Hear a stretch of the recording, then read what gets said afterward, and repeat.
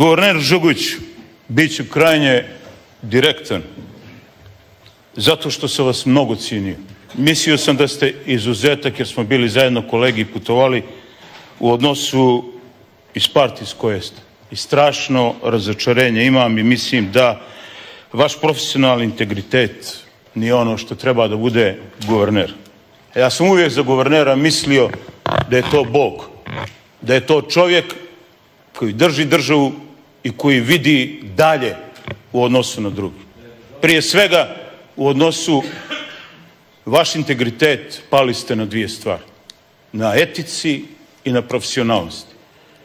Guverneru Žugiću, da li se sjećate nelagodno, da ne rečem što drugo?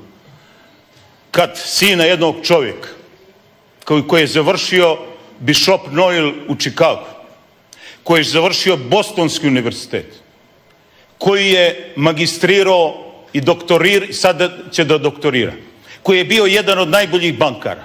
Kažete zato što ste njegov sin, on nema pravo u ovoj Crnoj Gori. Takvih ima na desetinu. Žugiću, i nemojte to da radite.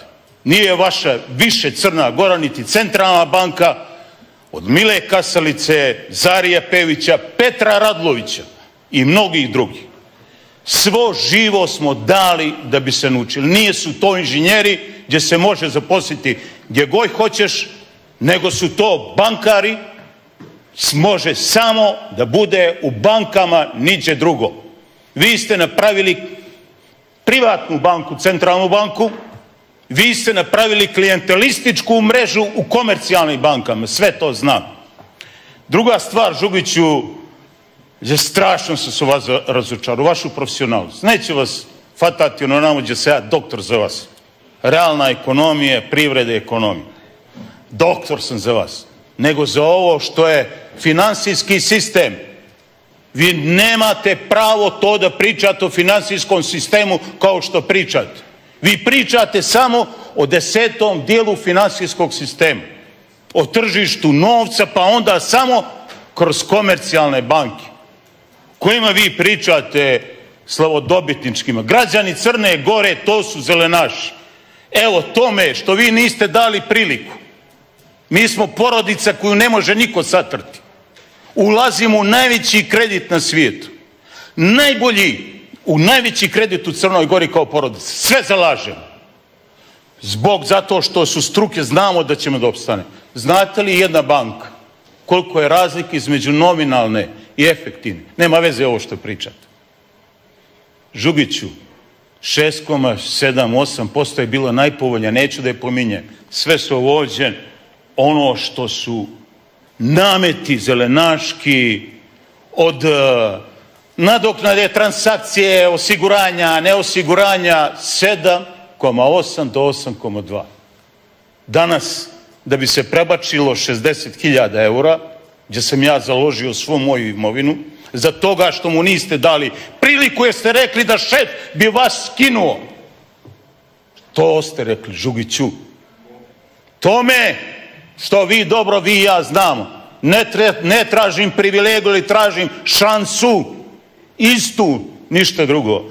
Žugiću, nama treba dinamičan ekonomski razvoj. 10, 12, 15%. Nama trebaju pari. Ima para u Crnu Goru.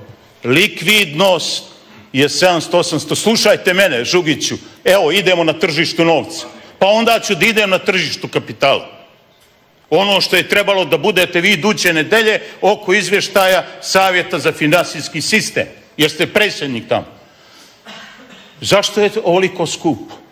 Zašto vi se fali 3,5 miliona? Je to zahvaljujući vama ili za garantovano depozit od 50.000? To su zelenaši lopovi u komercijalnim bankama. Više od 500 miliona ide majkama. Da, majkama bankama. Da li to ide u razvoj Crne Gore? Gdje vam je razvojna banka?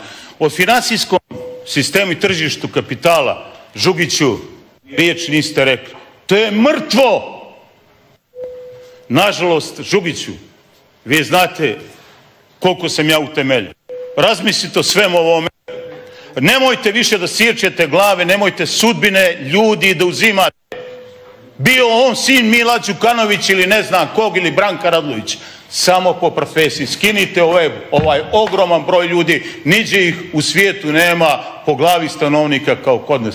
I razmislite, opet ćete doći ovdje. Pitaću vas kako pare koje ima možemo da stvorimo u Crnu Goru, možemo da finansiramo dinamičan privredni ekonomski razvoj, dugoročno drži više od 15%. Ovaj ne zna, kaže do vas, smijeniti njeg odmah. Ste tri minute ima.